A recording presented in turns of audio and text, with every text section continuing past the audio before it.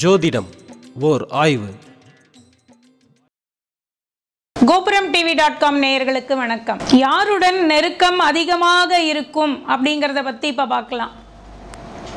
லக்னத்தை வச்சுக்கிட்டு தான் இந்த நெருக்கம் அமையுது.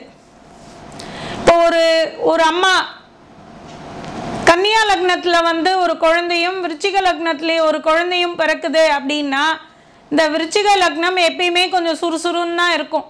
கன்னியா லக்னம் வந்து அந்த அளவுக்கு வந்து கோபதாபங்களோட இருக்காது. அது கொஞ்சம் தணிஞ்சு தான் இருக்கும். அப்படி இருக்கும் பொழுது அந்த தாய் கன்னியா லக்ன குழந்தைக்கிட்ட நெருக்கமாகவும் அதுக்கு என்னெல்லாம் வேணுமோ அதை வந்து ரெண்டு பேரும் பேசி ஒரு ஒரு ஒரு நிலைக்கு நிலைப்பாட்டுக்கு வராங்க. அதுவே விருச்சிகத்தோடு வந்து அவ்வளோ நெருக்கமாக பேசிட முடியாது. ஏன்னா சண்டை சச்சரவு அதிகமாக இருக்கும்.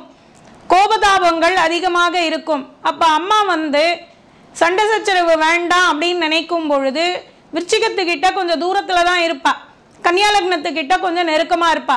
ஆனால் அந்த குழந்தைக்கு பார்க்கும் பொழுது ஏதோ பார்ஷியாலிட்டி மாதிரி தெரியும். அது பார்ஷியாலிட்டி இல்லை. அது வந்து விருச்சிகத்துக்கிட்ட வம்பு வேண்டாம் அப்படிங்கிற ஒரு எண்ணம் தான். இந்த ஆறு எட்டு லக்னங்களில் வந்து உறவுமுறை அமையும் பொழுது அது வந்து ஒரு சங்கடத்தை ஏற்படுத்துது. எப்பயுமே ஒரு சண்டை சச்சரவு ஆர்கியூமெண்ட் இப்படியே போய்கிட்டு இருக்கு. அப்போ நம்ம ஆர்கியூமெண்ட் வேணான்னு நினைக்கும் பொழுது நம்ம வந்து கொஞ்சம் தூரம் நிற்கிறோம் அது ஃப்ரெண்டாக இருக்கட்டும் உங்கள் லக்னமும் ஃப்ரெண்டு லக்னமும் ஆறுக்கோ எட்டுலேயோ அமையும் பொழுது சண்டை சச்சரவு இருந்துக்கிட்டே இருக்கு. ஒரு ஆர்கியூமெண்ட் இருந்துக்கிட்டே இருக்கும். அப்போ என்ன பண்ணுறோம் நிறைய வந்து ஆர்கியூமெண்ட் வேண்டாம் அப்படின்னா கொஞ்சம் கம்மியாகவே பேசுகிறோம் ஆனால் இவங்க பிரியறதில்லை. சண்டை சச்சரவு இருக்குமே ஒழிய பிரிய பிரிய மாட்டாங்க.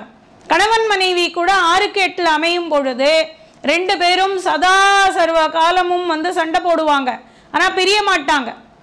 இவன் வந்து ஒரு ஒரு ஒரு நாள் பொண்டாட்டியை வந்து அவங்க அம்மா வீட்டுக்கு கூட அனுப்ப மாட்டான் ஏன்னா இங்கே சண்டை போடுறதுக்கு ஆள் இல்லைங்கிறதுக்காகவே போய் கூப்பிட்டுட்டு வந்துடுறது.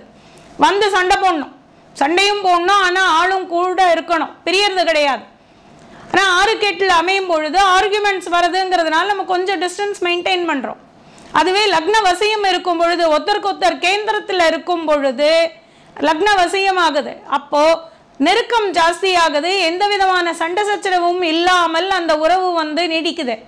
அதுவே ஏழுக்கு ஏழில் அமையும் பொழுது அது வந்து கில்லருக்கான இடம் இல்லையா? மாரகஸ்தானம்.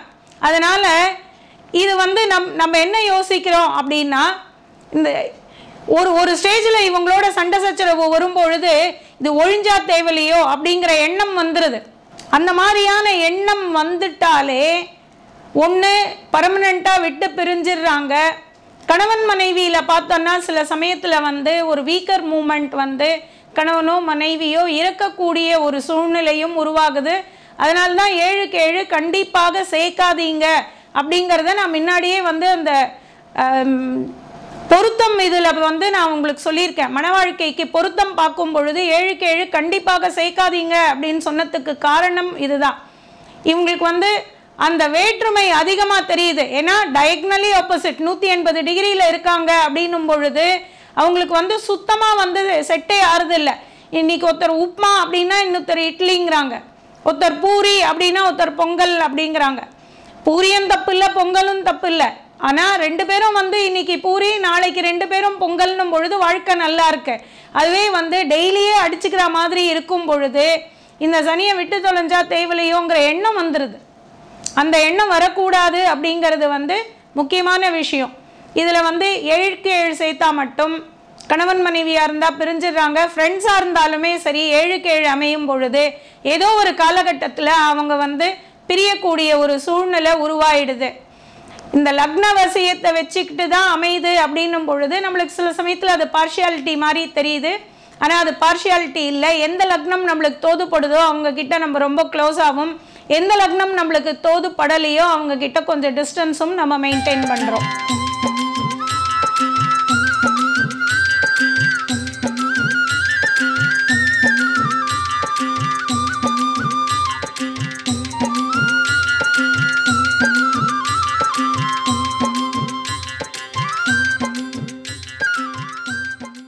யூடியூப் உலகத்தில் பக்திக்கென்று இருக்கின்ற ஒரே ஒரு சேனல் கோபுரம் டிவி சேனல் இதில் வந்து பக்தி மட்டும் இல்லை பல விஷயங்களை சொல்கிறாங்க அதில் முக்கியமாக நாயன்மார்களின் அருள் வரலாறு ஷீரடி சாய்பாபா அவர்களின் வரலாறு பன்னிரெண்டு ஆழ்வார்கள் பற்றிய தொகுப்பு மகா பெரியவர் பற்றிய ஆய்வுகள் ஜோதிடம் ஒரு ஆய்வு அப்புறம் ஆன்மீக அதிசயங்கள். இது அனைத்தும் ஒவ்வொரு நேரத்துலையும் வந்து அவங்க டெலிகாஸ்ட் பண்ணுறாங்க இந்த பிஸியான காலகட்டத்தில் நீங்கள் இதெல்லாம் பார்க்கணும்.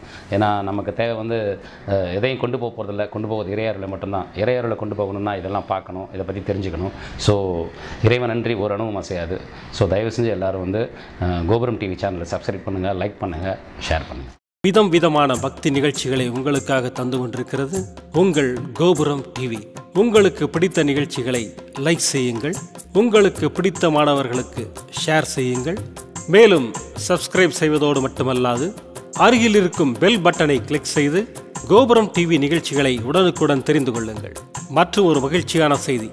கோபுரம் டிவி ஆப்பை கூகுள் பிளே ஸ்டோரில் ஃப்ரீ டவுன்லோட் செய்து கோபுரம் டிவி நிகழ்ச்சிகளை தொடர்ந்து கண்டுகளியுங்கள். பாருங்கள் ரசியுங்கள் பரவசமடையுங்கள். கோபுரம் டிவி டாட் காம். பக்தி பக்திமயம்.